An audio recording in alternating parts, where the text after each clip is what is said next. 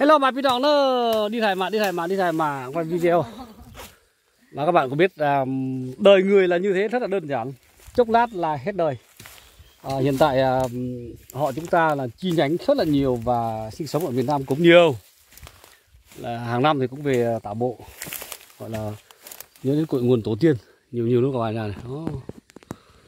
ngoài cánh đồng kia này rất là nhiều luôn ở đây là bác Thao à, già tuổi rồi nhưng mà cũng là lội về ta nói là cái chú à, máu mủ của tao rồi những người để tha tao Đây này, cần, à, à, Tao về. cái này là bố đẻ của bà Thao này. bà thế này Ừ. đây là ông Hồ này Ừ, Ông Hổ này. ông Hồ là một người rất là nổi tiếng ở khu vực Quảng Hòa Tiên Thành cả nhà nhé ông ngày xưa ông làm à, làm bụt làm ray ông Hồ nói ông Hồ là ai cũng biết đến một người à, đàn ông của họ Nguyễn à, à, rất là đẹp trai. à, Con con bố à, Ừ. Vậy. đang đốt quần áo cho hồi ông- xưa hồi xưa ông Hộ với ông Lái là được đẹp trai nhất Thảo Nguyễn thật đấy chứ ông Hộ Lái hồi xưa cao to Nguyễn à chẳng qua bây giờ lấy mấy bà ấy là ông quân mấy ông kia nhà mình lai bà đi đi lùn nhỏ đi à là. Thật mà cái ông Nguyễn là mình là cao to khủng khiếp à. Cho nên là bây giờ ở bên ông Đạt là còn lai được một số một người to đấy. Bên à, ai chẳng to? Ông Thảo à, anh à, anh anh cũng. Bạc Liêm hồi xưa cũng to cao. bà Thao bà Tiền nhỏ không? ừ. Lai lai bên ngoài bớt rồi Ông, ông Hải, ông Ngoan, ông Hành cũng to này. ừ Hồng Nguyễn mình lúc Hồng Nguyễn là lúc quả nào quả đấy to thì Ông- ông, à, ông ông ông Toàn là cũng bị lai lai mẹ đi bớt ông Toàn mới tròn tròn như thế. Thật mà chứ Hồng Nguyễn mình là à, Hồng Nguyễn mình là đúng là ờ, múi cao cao á, giống như kiểu ông ông ông Long rồi đó ông Bách rồi đó mày cháu này. Thật sự ông lại ông Liêm cũng múi cao to đẹp mà. Ông thật mà. có 10, 19 năm chủ tịch, mày có biết không nhỉ? nhưng mà thằng nào ông nào ông đấy cao to như tây ạ múi như người mẫu á cao to đẹp lắm.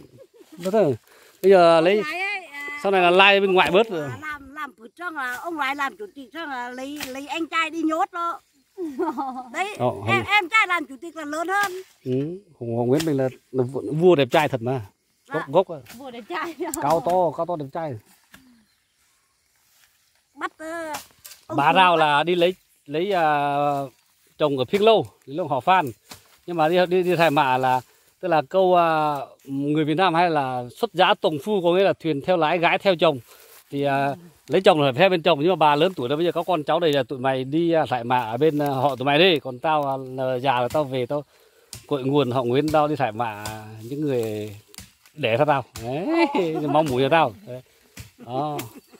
Con này cũng thế này đó. Con này cũng Ờ. có cháu ông lại.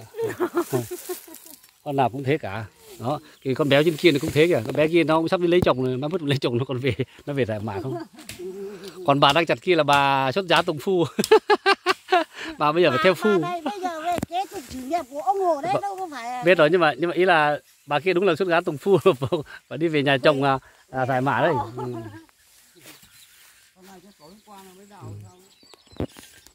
Nè, làm phiên còn cả nhà nhá.